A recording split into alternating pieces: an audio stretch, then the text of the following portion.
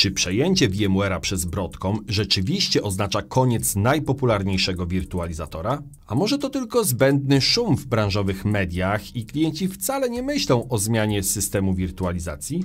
Co jest pewne, to fakt, że po jednej z największych akwizycji w historii branży IT bardzo wiele się zmieniło. Dlatego w dzisiejszym materiale poznamy historię zakupu VMware'a przez Broadcom, przyjrzymy się najważniejszym zmianom, a także spróbujemy odpowiedzieć na pytanie, czy warto pozostać przy rozwiązaniach VMware by Broadcom, czy może czas rozejrzeć się za innym systemem wirtualizacji. Brzmi ciekawie? Pamiętaj o subskrypcji kanału, poleceniu odcinka, no i co? Zaczynamy! Kanał zasilają Grandmetric, integrator IT specjalizujący się w projektowaniu i wdrażaniu rozwiązań sieciowych klasy Enterprise. 4H Fix, przedłuż gwarancję swoich serwerów i macierzy niezależnie od ich producenta. E24 Cloud, bezpieczna, stabilna i łatwo skalowalna chmura w korzystnej cenie. Linki do partnerów w opisie pod filmem. Przyznam, że już od jakiegoś czasu nosiłem się z przygotowaniem tego materiału. Zauważyłem jednak, że sytuacji związanej z VMware'em towarzyszy bardzo dużo emocji, ale też niewiadomych. Dlatego postanowiłem chwilę poczekać, poobserwować rynek oraz posłuchać opinii ekspertów oraz klientów. Osobiście bardzo lubiłem rozwiązania od VMware'a. Mam na koncie kilkanaście wdrożeń wirtualizacji opartej o vSphere oraz posiadam certyfikat VMware Certified Professional. Dlatego zależało mi na obiektywnym spojrzeniu na całą sytuację. Rozdział pierwszy. Historia przejęcia. 26 maja 2022 roku to dzień, który zdecydowanie przejdzie do historii IT. Broadcom, firma znana głównie z produkcji chipów, ogłasza zamiar przejęcia VMware'a za zawrotną kwotę 61 miliardów dolarów. Wiadomość była szokująca dla świata technologii. To trochę tak, jak gdyby firma produkująca silniki ogłosiła zakup całej marki samochodowej. No dobrze, może VMware nie produkował sprzętu, ale bez wątpienia jest światowym liderem w obszarze wirtualizacji i chmury hybrydowej. Droga do finalizacji tej mega fuzji okazała się jednak długa i wyboista. Przez 546 dni Broadcom musiał przejść przez skomplikowany proces zatwierdzania transakcji przez regulatorów z różnych krajów. Na przykład Unia Europejska postawiła warunek, że Broadcom musi zagwarantować interoperacyjność swojej technologii z rozwiązaniami konkurencji. Wreszcie 22 listopada 2023 roku, po uzyskaniu ostatecznej zgody regulacyjnej w Chinach, transakcja została sfinalizowana. VMware oficjalnie stało się częścią Broadcom, a ostateczna wartość transakcji wzrosła do 69 miliardów dolarów. Hock Tan, prezes i dyrektor generalny Broadcom ogłosił, że połączona firma skupi się na umożliwieniu przedsiębiorstwom budowania i modernizacji ich prywatnych oraz hybrydowych środowisk chmurowych. Broadcom zobowiązał się też do zainwestowania 2 miliardów dolarów rocznie w VMware, z czego połowa ma być przeznaczona na badania i rozwój. Jak się jednak okazało, finalizacja transakcji była dopiero początkiem zmian.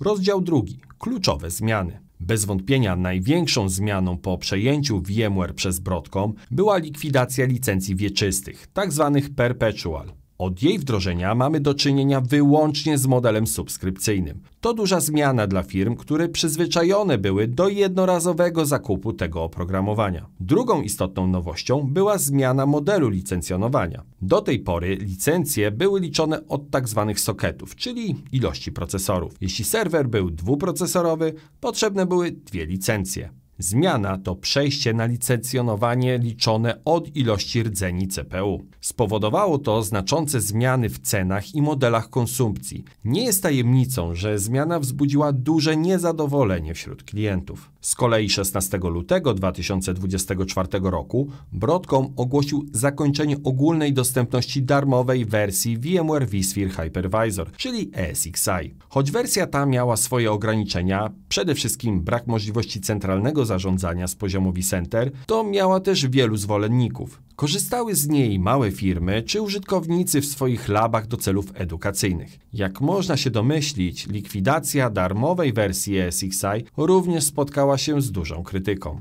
Kolejna ważna zmiana to fokus Broadcomu na duże przedsiębiorstwa. Firma otwarcie przyznała, że będzie koncentrować się na globalnych korporacjach, co zresztą jest spójne z wprowadzonymi zmianami w zakresie licencjonowania i likwidacji niektórych produktów. To może być niepokojąca wiadomość dla małych i średnich firm, które mogą poczuć się zepchnięte na dalszy plan. Oczywiście to tylko część wprowadzonych zmian, wśród których można by jeszcze wymieniać redukcję zatrudnienia, zmiany w programach partnerskich czy likwidację niektórych linii produktowych. Można odnieść wrażenie, że najważniejsze zmiany są delikatnie mówiąc, no raczej na minus dla firm oraz nas jako dotychczasowych użytkowników VMware'a. A czy są jakieś plusy?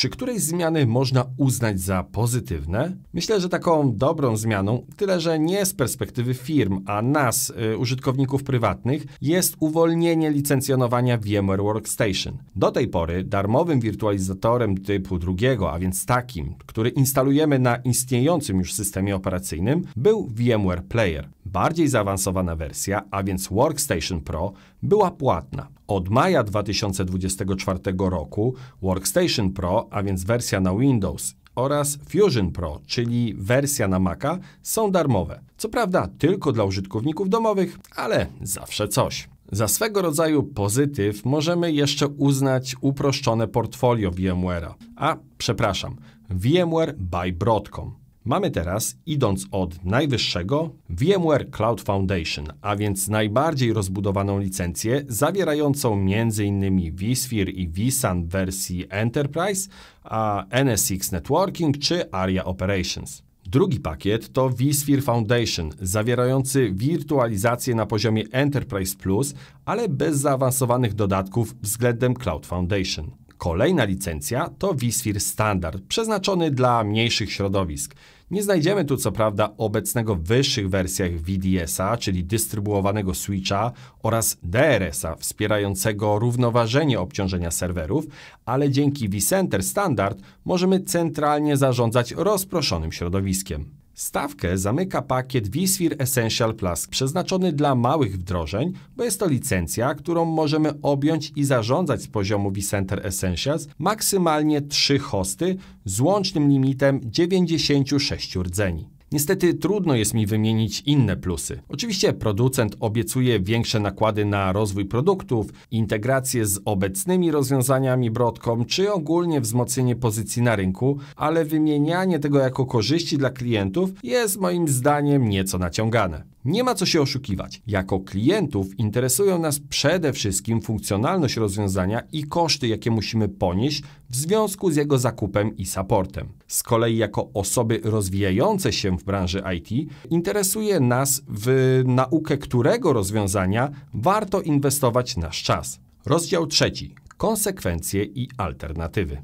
A co te wszystkie zmiany oznaczają dla użytkowników? Cóż, to zależy od wielkości firmy i jej potrzeb. Duże korporacje mogą skorzystać z nowego modelu, potencjalnie otrzymując lepsze wsparcie i możliwość negocjacji. Ukłonem w ich stronę może być tu na przykład obniżenie ceny za najdroższe licencje, a więc pakiet VMware Cloud Foundation. Z drugiej strony jesteśmy my, małe i średnie firmy oraz użytkownicy rozwiązań związanych z wirtualizacją i chmurą. Tutaj sytuacja się komplikuje i w związku z nową polityką i nastawieniem na klientów korporacyjnych faktycznie możemy zostać zmuszeni do poszukania alternatywy. A opcji w tej kwestii nie brakuje. Jedną z nich jest na pewno Proxmox, open source'owa platforma do wirtualizacji, która zyskuje na popularności. Obsługuje zarówno maszyny wirtualne, jak i kontenery, a do tego jest darmowa z opcją płatnego wsparcia. Proxmox może być więc świetną opcją dla mniejszych firm. Inną alternatywą jest Nutanix, a więc komercyjna platforma hiperkonwergentna, która łączy storage, warstwę obliczeniową oraz wirtualizację. Oferuje własny hypervisor AHV i może być dobrym wyborem dla firm szukających kompleksowego rozwiązania. Zresztą jakiś czas temu opowiadałem o Nutanixie w dedykowanym materiale,